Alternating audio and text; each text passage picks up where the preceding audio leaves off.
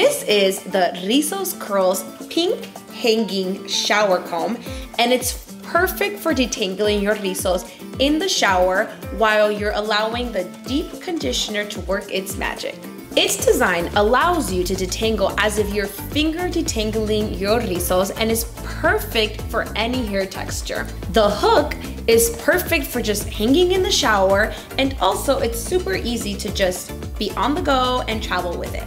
And my favorite part about the comb, look how cute the color is. Remember to only detangle while your hair is wet while you are working the deep conditioner in your rizos to avoid it pulling and hurting your head.